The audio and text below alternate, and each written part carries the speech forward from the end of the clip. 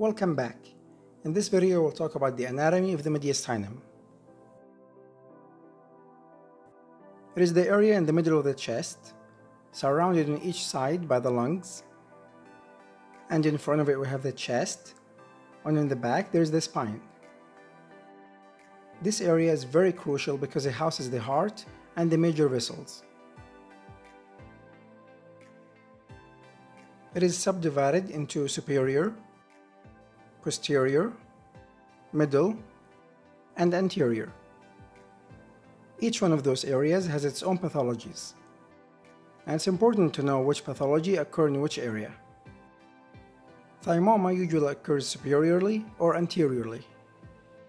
So if an X-ray shows a mass in the anterior mediastinum, it's very likely to be thymoma. In the posterior mediastinum, we have neurogenic tumors. In the middle, we have the most benign bronchogenic cysts.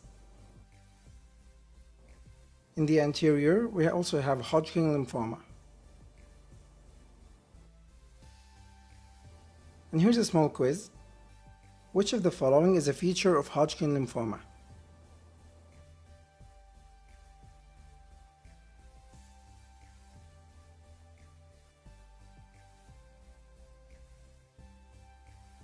And the answer is eosinophilia. Alright guys, that's all I have. Thank you so much for watching and hopefully this helps.